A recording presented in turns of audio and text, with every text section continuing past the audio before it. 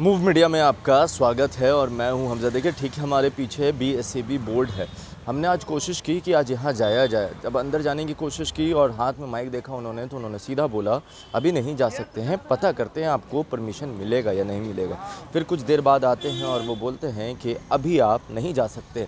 तो हमने सोचा था, अब हम मुद्दे पर किस जा रहे थे? एस टी अभ्यर्थियों के लिए। बेचारे वो दर बदर भटक रहे हैं। आज मोदी जी का जन्मदिन भी है। तो मोदी जी का बर्थडे है और मोदी जी ने कहा था कि हर साल दो करोड़ रोज़गार मिलेगा, नौकरियाँ देंगे। तो एस टी वाले जो विरोध प्रदर्शन कर रहे हैं, हर दिन विरोध प्रदर्शन कर रहे हैं, अपनी मांग को लेकर, कभी इस द्वार, कभी उस द्वार, कभी जेडीयू दफ्तर, कभी भाजपा दफ्तर, कभी राजद दफ्तर, कभी इस नेता से मिलना, कभी उस नेता से मिलना। मगर क्या कुछ हुआ? नहीं अभी तक का जवाब नहीं है। अभी तक सिर्फ़ वो आ, लटके हुए हैं सीधे अल्फाज में कहें तो लटके हुए हैं। तो हमने सोचा हमने कुछ दिन पहले कोशिश की थी शिक्षा मंत्री के आवास पर जाने की शिक्षा मंत्री से मुलाकात करने की वो पॉसिबल नहीं हुई। अभी बी बोर्ड यहाँ जाने की कोशिश की ठीक हमारे पीछे हैं देख सकते हैं। गार्ड भैया ने प्यार से रोका और बोला कि हम बातें करते हैं। और उसके बाद उधर से जवाब आया, अभी मीडिया परमिटेड नहीं है। तो ये सारी चीज़ें हैं। मीडिया परमिटेड नहीं है, आप जाकर सवाल नहीं पूछ सकते। आप जाकर ये नहीं पूछ सकते हैं कि क्या होगा इनके युवाओं के भविष्य का। जो हो रहा है वो कितना सही है।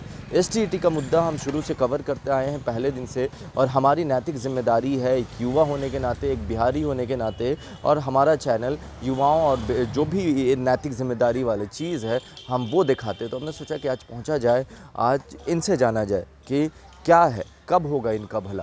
कब ये जो उम्मीद लगाए हैं 2019 वाले स्टेट अभ्यर्थी, दो साल का वक्त हो गया, अभी ये ऐसे ही भटके, भटकते रहेंगे? क्या उनके ज़िंदगी में खुशहाली आएगी? क्या उन्हें जॉब भी मिल पाएगा? मिलेगा तो आखिर कब मिलेगा? ये सारे सवाल मेरे मन में थे। मैंने सोचा कि कोई किसी जो अधिकारी हैं, उनसे बात हो जाए। मगर अंदर जाने नहीं दिया गया। हाँ एक तसल्ली दी गई कि आप आइए बाद में आपसे बात कर लिया जाएगा। मगर कब हम भी आएँगे, बाद में आएँगे, हम भी सवाल पूछने आएँगे, हम पीछे हटने वालों में से नहीं हैं। मगर एसटीईटी जो अभ्यर्थी हैं, वो उनका क्या होगा? वो बेचार, हर इंसान चाहता है कि पढ़कर पास करे और जब पास हो जाता है तो उसको अब यही उम्मीद होती है कि जॉब तो मिल ही जाएगा।